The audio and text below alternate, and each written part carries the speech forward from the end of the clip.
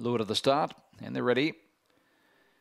Racing, Max Keeping began quickly on the inside, fast away. Fancy Zach and Up Stump shows early speed, and Kalmar Girl. Kalmar Girl whizzes through on the inside of Max Keeping, holds the lead. In third place, Fancy Zach. I'm Precious was next, and then followed by Harker Rhythm. Up Stumps losing, losing ground, while back in the field was I'm Precious, along with Mayfield Flyer at the rear of the field, with My Specs in the straight up on the inside. Max Keeping coming late. Fancy Zach. Max Keeping wins by three quarters. Fancy Zach second. Now third is tight. I'm Precious and Kalmar Girl, I think, are the prominent ones in the photo. Then followed by Harker Rhythm, up stumps. In behind them was Mayfield Flyer and My Specs at the rear.